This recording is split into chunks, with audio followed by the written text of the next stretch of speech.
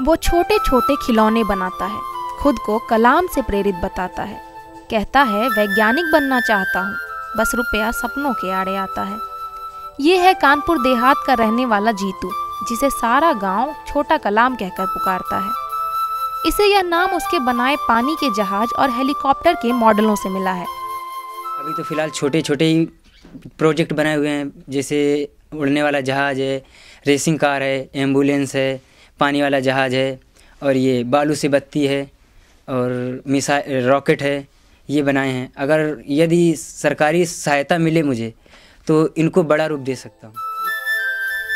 जीतू के परिवार की आर्थिक स्थिति ठीक नहीं है।